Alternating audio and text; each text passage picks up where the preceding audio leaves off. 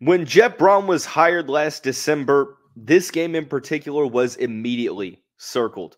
Well, on Saturday, the Louisville Cardinals have a chance to snap a losing streak against the Kentucky Wildcats. On today's episode of the Locked on Louisville podcast, we discuss what's at stake, the deciding factors, and players to watch for your Cardinals in this year's installment of the Governor's Cup. So, with that being said, let's get right on into the show. Are Locked On Louisville, your daily podcast on the Louisville Cardinals. Part of the Locked On Podcast Network, your team every day. Hey, what's going on, everyone? Welcome into another episode of the Locked On Louisville podcast. I'm your host, Dalton Pence. Today's episode brought to you by Game Time. Download the Game Time app, create an account, and use the code Locked On College for $20 off of your first purchase. Well, hope everyone had a great Thanksgiving holiday. Um, a lot of stuff to be grateful for. One thing that um, I'm very thankful for is you all making Locked On the Louisville your first listen of the day. Um, just a reminder that the show is free on all streaming services five days a week. Your team every day. It's almost here. The game that we've circled since Jeff Brohm was hired at Louisville, the Governor's Cup regular season finale, is just around a day away. We'll talk about the Cardinals' um, opportunity to break the losing streak against the Wildcats, deciding factors in this matchup, and the players to watch for the home team. It's been a very successful season, nonetheless, for this team. Sitting at 10 and 1, top 10 in the country, already clinched a berth to play in the ACC championship game next Saturday in Charlotte against Florida State. Um, but if you ask the majority, almost pretty much all of Louisville fans, um, you know, what are your goals this season? You know, if you were to ask them that before the season, they would tell you, um, you know, with this schedule, win at least eight games, but they're also going to tell you beat Kentucky. Let's be honest, this has been a rivalry that has been very lopsided over the past couple of seasons, uh, over the past half decade, pretty much. Kentucky has won the past four matchups against the Cardinals dating back to 2018. Um, the first in that series, well, the 2 and 10 season in 18 was a disaster. They embarrassed Satterfield's team in 2019 in Lexington. 2020 was the COVID year. The teams didn't play. 2021, another embarrassment for Louisville, but this time at home where Will Levis um, did everything that he wanted to. And then now um, we look at 2022, where it was a lot closer, but Louisville still lost by double digits. And I mean, it, it wasn't a pretty performance, but Kentucky still won. That's truly all that matters. So the Cards have a chance to break the streak. And I think that this game in particular was, I mean, it's circled every season, but this one was circled in a bright yellow highlighter because of who is now leading this program. One of the main concerns, complaints about Scott Satterfield was that many Louisville fans feel like he just didn't get it.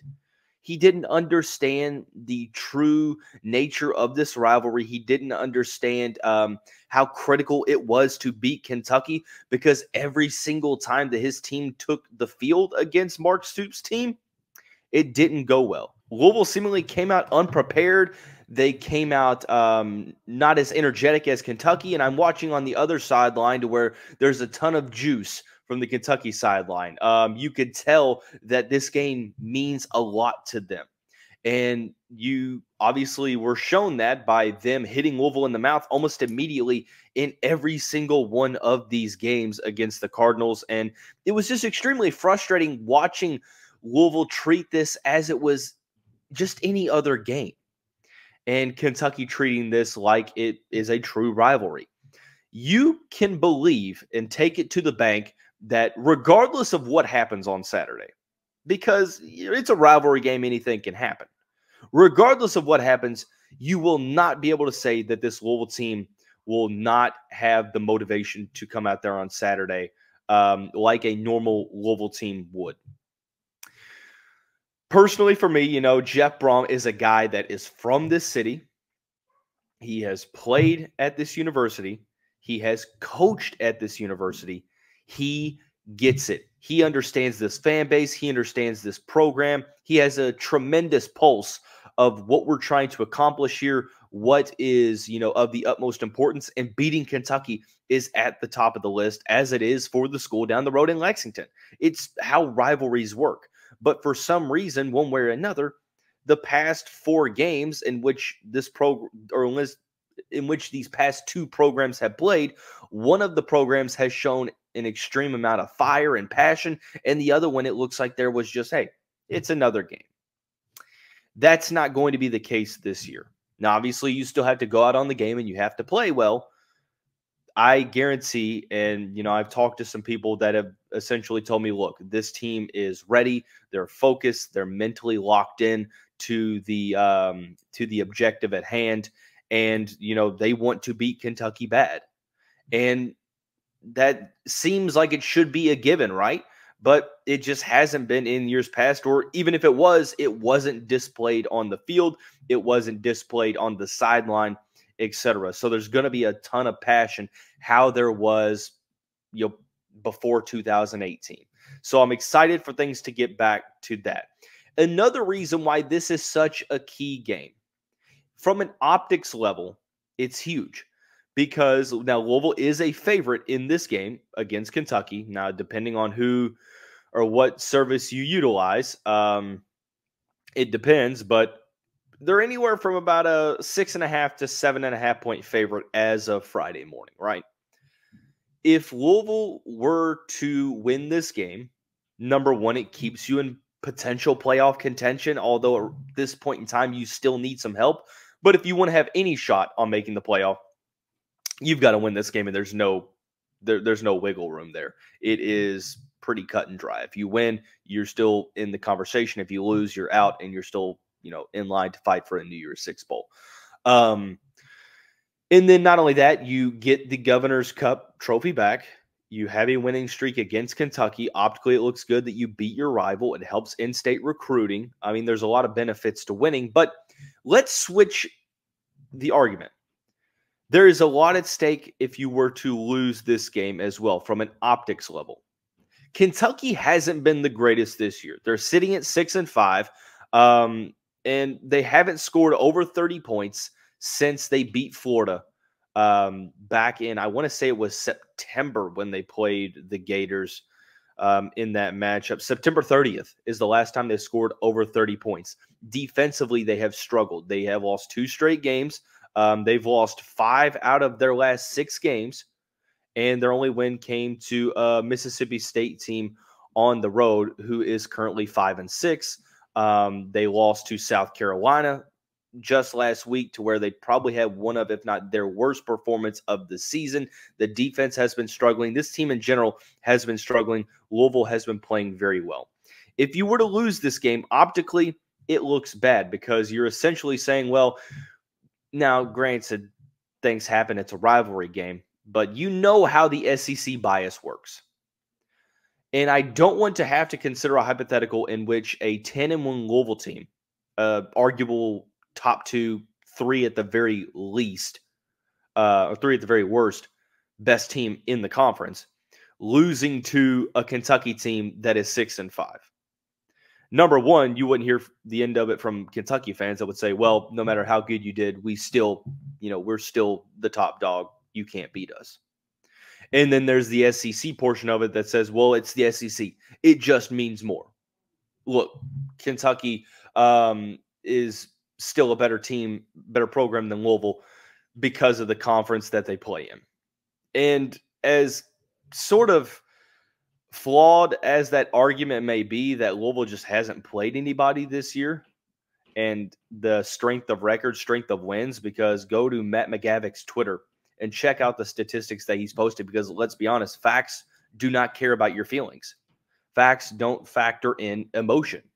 And it just goes to show you statistically, Louisville has had a better strength of resume than Kentucky. And there's no debating that. But to Kentucky fans, their SEC schedule is just completely leaps and bounds better than Louisville's, despite playing, you know, or having not scheduled one game against a Power Five team in the regular season outside of Louisville since Mark Stoops has been there. But that's an argument for a different day. I say all that to say this. If you lose this game, it fuels that argument once again that, hey, look, Kentucky is still better despite the record, and and you're still in a spot where the SEC is completely dominant. Now, the SEC is the best conference in college football. There's no debating that. But it's this argument that, oh, Kentucky is better than Louisville, and they're only winning less games because of the schedule that they're having, although it's not necessarily clear that Kentucky's schedule is actually better than Louisville pound for pound. But conversation for a different day. Let's get into the matchup deciding factors. There's going to be three of them, in my opinion. We're going to talk about those when we come back after talking about our friends over at eBay Motors. Passion, drive, and patience. What brings home the winning trophy is also what keeps your ride or die alive eBay Motors has everything you need to maintain your vehicle and level it up to peak performance. From superchargers, roof racks, exhaust kits, LED headlights, and more. Whether you're into speed, power, or style, eBay Motors has got you covered. With over 122 million parts for your number one ride or die, you'll always find exactly what you're looking for. And with eBay's guaranteed fit, your part is guaranteed to fit your ride every time, or you get your money back because with eBay Motors, you're burning rubber, not cash. With all the parts you need at the prices you want, it's easy to turn your car into the MVP and bring home that win. Keep your ride or die alive at ebaymotors.com. Eligible items only, exclusions apply. eBay Motors, guaranteed fit, only available to U.S. customers.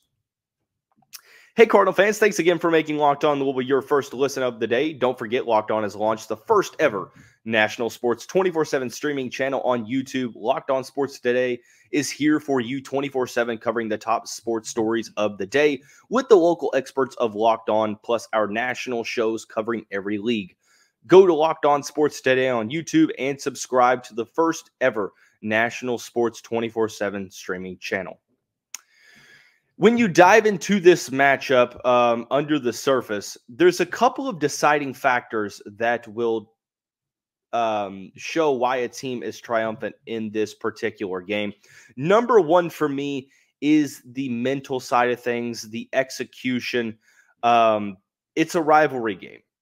You have to throw a lot of things out because of the emotions that ride with a rivalry game. The first deciding factor is going to be which team utilizes the high emotions in the most positive way and how it's going to translate onto the field because you can want it more than the other team. But if you don't go out there and play smart and execute the game plan and score points and get stops, then it truly doesn't matter. You have to be able to go out there and, yes, have that passion, have that hunger to go out and win this game, but you have to do it smart. What does that mean? Um, you know, limiting penalties. That's a big thing. Um, you know, there's going to be a, a, um, a good amount of high effort. You know, limiting the holdings, limiting the pass interference calls, offsides, false starts, etc. Emotions are going to run rampant in this contest. The main thing for me is going to be which team can use that to its advantage in the most positive way. And I think that that's something that Kentucky has been very good at doing in the past four games of this series. The main reason why they have won all four in three of them in true blowout fashion. So that's one thing that I want to see from Louisville that's going to be a huge deciding factor is hey, look, let's go out there and play hard, but also play smart. Let's, you know, stay in the moment, not look too far ahead, and just finish play after play and that's the main thing here for me is the mental side of things because rivalry games that's why i don't really like to look at spreads in a rivalry game or i don't like to look at percentages of who's going to win because you just don't know in these games. There's so much uncertainty due to the emotions that run heavy and it's just kind of it's tough for me to really talk about how much of an, an advantage a team has because you just never know. Um the second deciding factor for me is going to be the turnover battle. I think that this is a, a huge thing um, when it comes to both of these teams. They have two quarterbacks that, um, you know, have had instances to where they haven't done a great job of holding on to the football. Devin Leary has 20 touchdowns on the season to go along with nine interceptions. So he has done a, a job that he hasn't necessarily um, really prioritized not turning the ball over at times. And Jack Plummer really has been sort of the same way with 19 touchdowns to go with 10 interceptions. So, I mean, if you asked who has been the better quarterback this year, I would probably tell you Plummer. But I think that as good as both of these quarterbacks can be, there's also issues with ball security, with decision making at times, and it is shown in the interceptions column. Both of these quarterbacks almost combining for 20 interceptions on the season. So I know that the secondaries of both of these respective teams have had moments to where they have gotten, um, you know, overall gashed, but I still think that there, there, there, there is talent on both of these defenses to create those turnovers, especially with the pass rush that both of these teams have, the defensive linemen that they have mm-hmm. as well.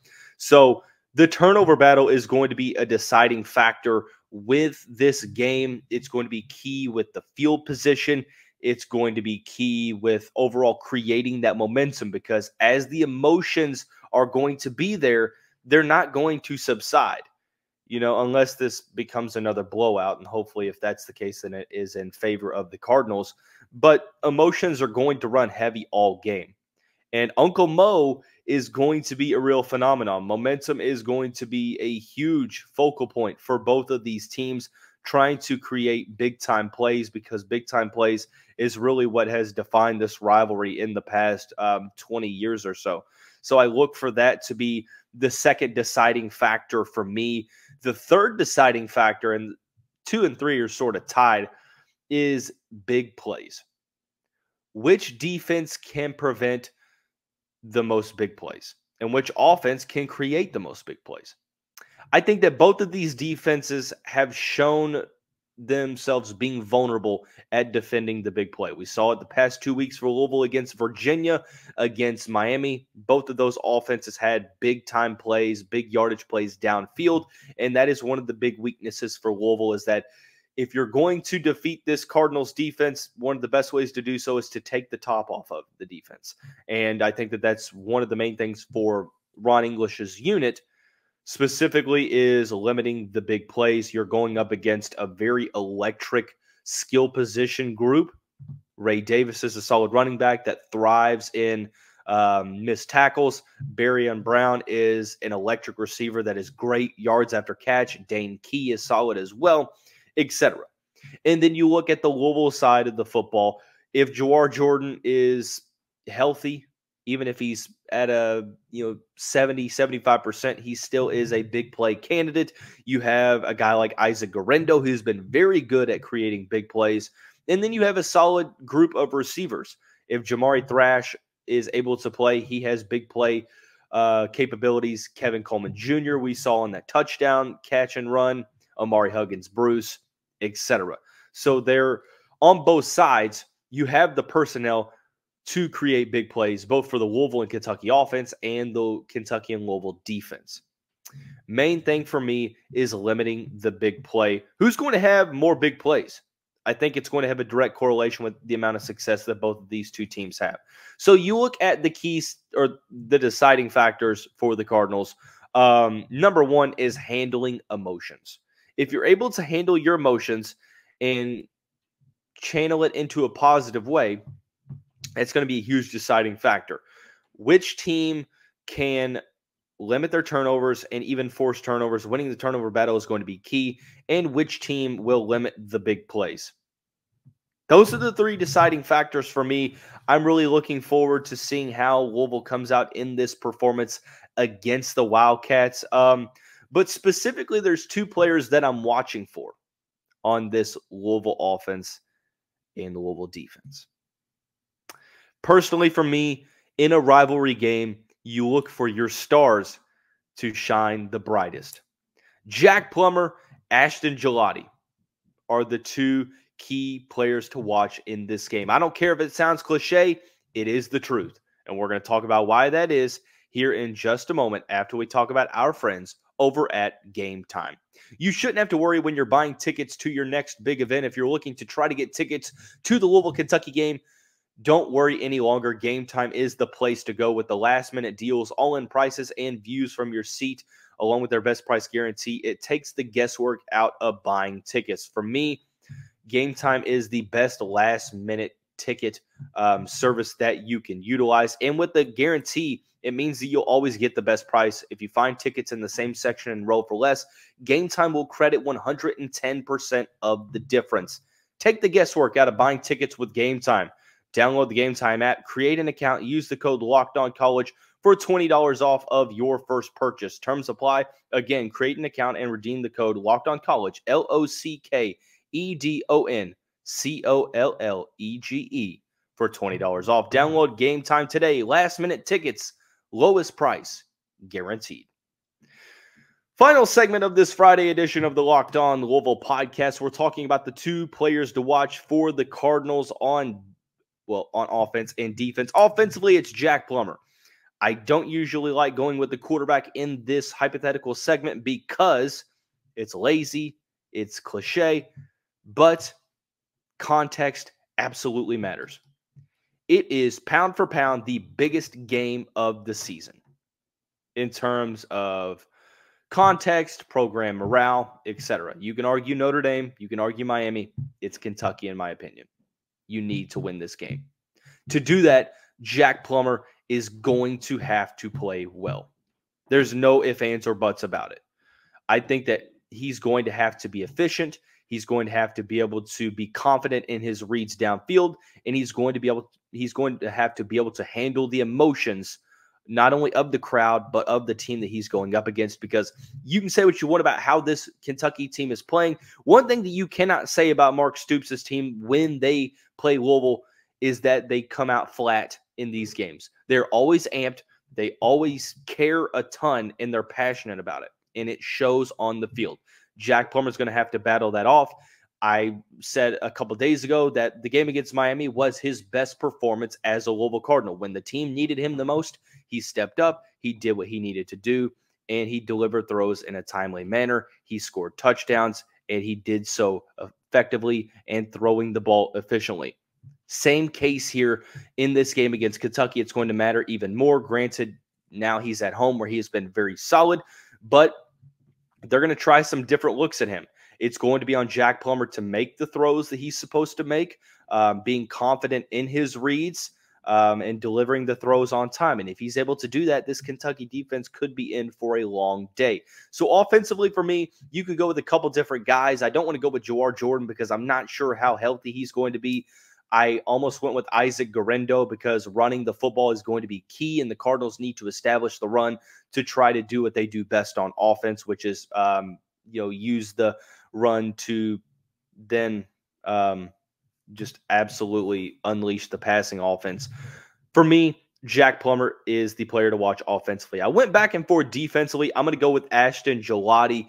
Big time players make big time plays in big time games. This is going to be a huge game for Gillotte. This is a potential career defining moment here at Louisville. He's already a fan favorite. He's a fantastic player, but he has a chance to cement himself as a Louisville legend with a big performance against the Wildcats. He has 10 sacks on the season, three forced fumbles, 39 total tackles. All of these are career highs. He has a fumble recovery. He has had his best year to date. The 6'3 Boca Raton, Florida native has been everything that the Cardinals have needed and more. But this is going to be a game to where a lot of eyes are going to be on him as the Cardinals star mm-hmm. pass rusher. I almost went with a combination of Mason Reiger and Stephen Herron because there's going to be so much focus on Gillotte. But even then, I decided to go with the best defender on this team because of the stakes, because of the opponent, because of the stage that is being set. To get to a spot where you're 11 and 1 still in the conversation for a college football playoff spot and going into that game against Florida State with a ton of momentum, you have to defeat a rival that you have not been all that competitive against since 2017. Your best players need to make big time plays and have big time performances. Kentucky's have done so since 2018. It's time for Louisville to do the same thing.